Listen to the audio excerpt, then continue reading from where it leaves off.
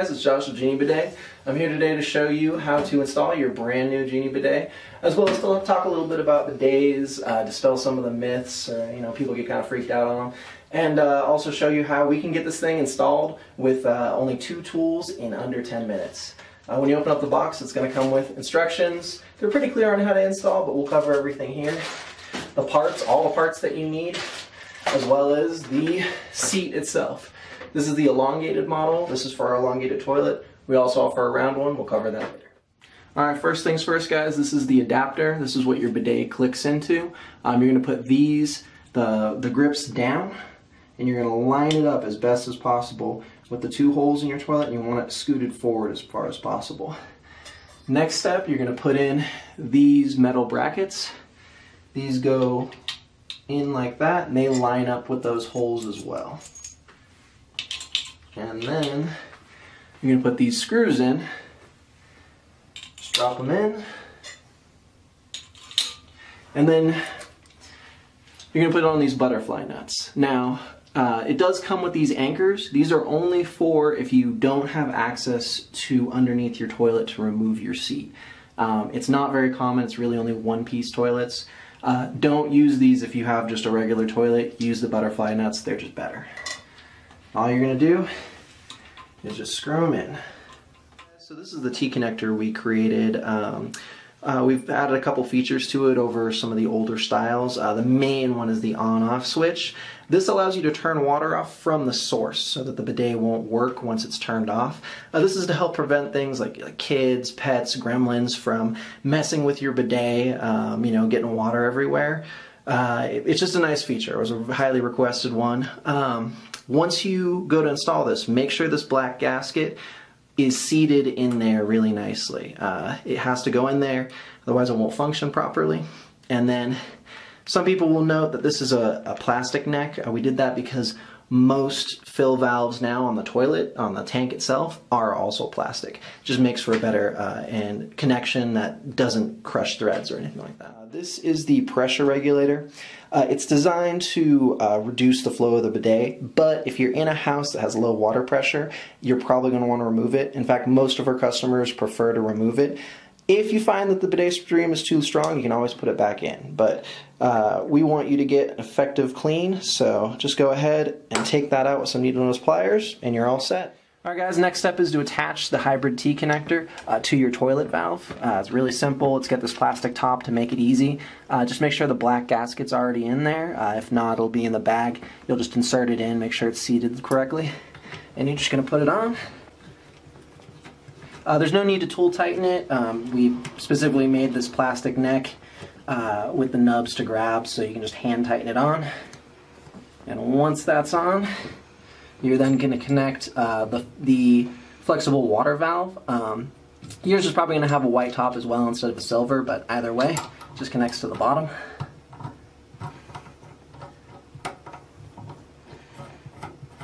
And uh, if you do have a metal uh, water valve, you're going to want to um, you're going to want to tool tighten it. Uh, but if you've got a plastic one, there's no need.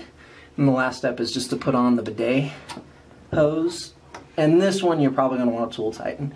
So the way you're going to do this is uh, get it, you know, tighten it down with your hands as much as possible, and then just take some pliers or a wrench and just give it an extra, you know, like quarter, half turn or something like that, and then it'll be on there. And now with the on off, down is on, sideways is off. Now, it'll still let water into the tank, but it'll stop water from going into the bidet. You know, it'll stop those uh, pesky kids from bideting your whole bathroom. All right, guys, uh, on to the last step. Uh, I have installed the water supply hose into the bidet uh, before putting it on the toilet. Uh, it just depends on the shape of your toilet. Sometimes it's easy to do one as opposed to the other. Um, I've also tightened down this bracket uh, so that it's very secure. So when I attach the bidet, the bracket's not going to move at all. And here's the installation. It's very complicated. Watch closely.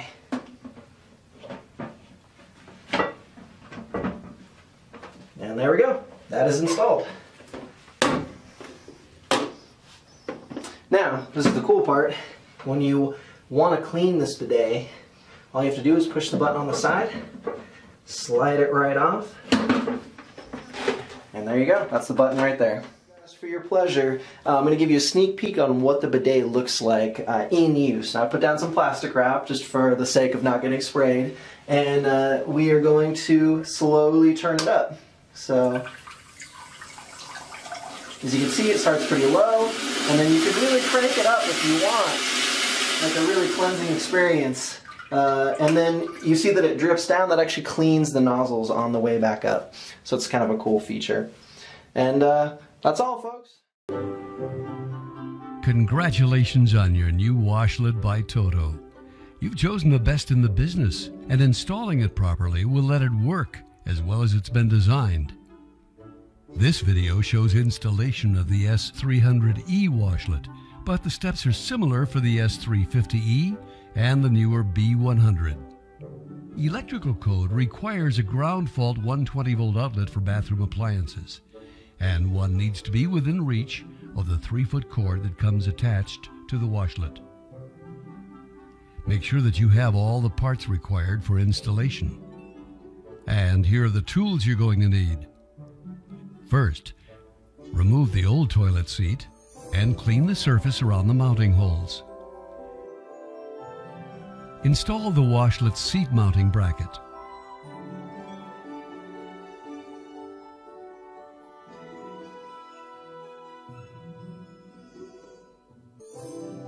Using a Phillips head screwdriver to tighten the screws, make it just snug enough to allow movement so you can adjust it to align the seat.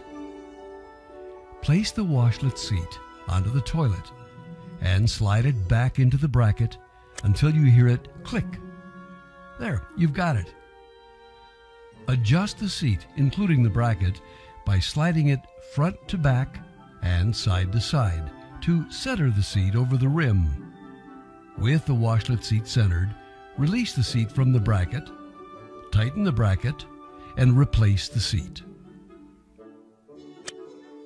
Shut off the water supply, flush the toilet to relieve the pressure, and disconnect the supply tube from the valve. Now it's time to complete the water connection. Next, being careful not to cross-thread the nut, screw the washlet junction T onto the fill valve. Finger tight is enough. Do not over-tighten. One end of the white connection supply line will already be attached to the washlet. The other end of the supply has a gray tip with an O-ring inside a white plastic nut. Push this gray plastic tip into the threads on the supplied junction T until the O-ring engages. Then hand tighten the white plastic nut. Now you're ready to turn the water back on and check for leaks. Fantastic.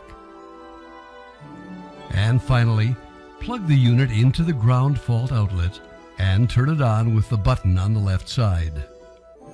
The LED lights on the rear of the washlet seat to let you know all is ready. With fresh batteries in the remote control unit, use your left hand to press down on the rear left side of the seat. This will make the washlet think that someone is seated to test the remote.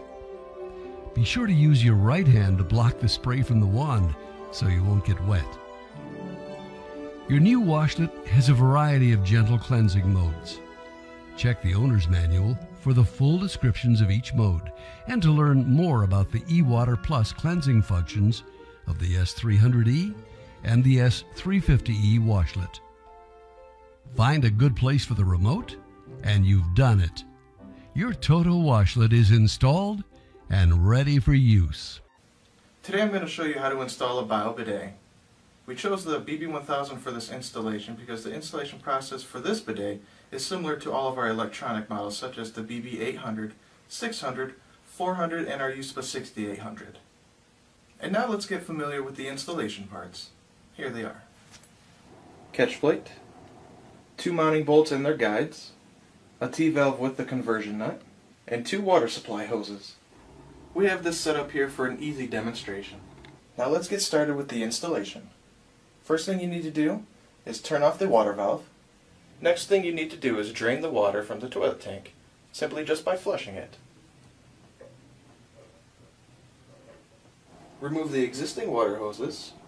There might be a little bit of water left over, so have a towel ready. Check your shutoff valve size. If it's 3 eighths, use a 3 eighths conversion nut. If it's half inch, just use the standard T-valve. You have two water hoses supplied. The shorter one connects from the top of the T-valve to the toilet water tank fill valve, and the longer one connects to the side of the T-valve to attach to the bidet later on. Remove the existing toilet seat, place the catch plate over the mounting holes, place the mounting guide concave side up, insert the mounting bolts, secure the catch plate by tightening the mounting bolts, make sure the bidet is lined up with the catch plate and slide it in until it clicks. To remove it, press the release button in and slide it out. Connect the water supply hose to the bidet inlet. Make sure you do not over tighten the connections. Use hand pressure to secure it. Now open up the shutoff valve and check for any leaks. Now the installation is complete. Go ahead and plug it into any GFCI outlet and enjoy. This presentation will provide you with simple step-by-step instructions for installing the Luxe Bidet cold and hot water models. Our products should fit most standard toilets, but please check this chart in the product description to make sure your toilet can accommodate a Luxe Bidet. The tools you'll need are a straight slot screwdriver and an adjustable wrench. Your bidet kit will include the bidet itself, the white T-adapter, and a cold water connection hose. Included in models with a hot water feature is a hot water line and a metal T-adapter. Before you start the installation, turn your cold water supply off. Then flush the toilet to clear the tank. Remove the seat from your toilet. Place the bidet on the toilet and align the slots in the adjustable plates to match up with your seat anchor bolts. Then reattach the seat. Using a wrench, disconnect your water supply hose from your tank. Before installing the plastic T-adapter, make sure the black rubber washer is properly seated.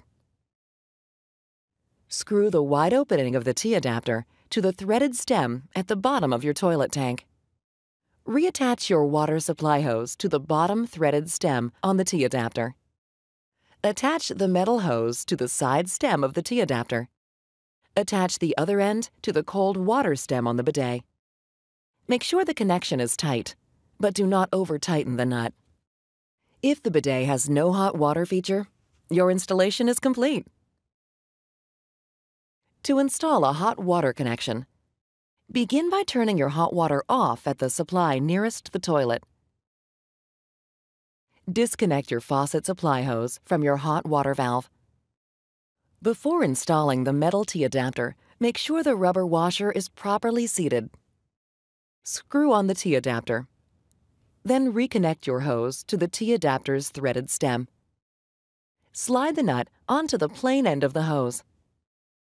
Press the end of the hose onto the barb on the T-adapter. Then tighten the nut onto the threaded stem. Attach the other end of the hose to the hot water stem on the bidet. Turn your hot and cold water valves back to the on position. And your Luxe bidet is ready for use. For any questions regarding your installation, please contact our customer support.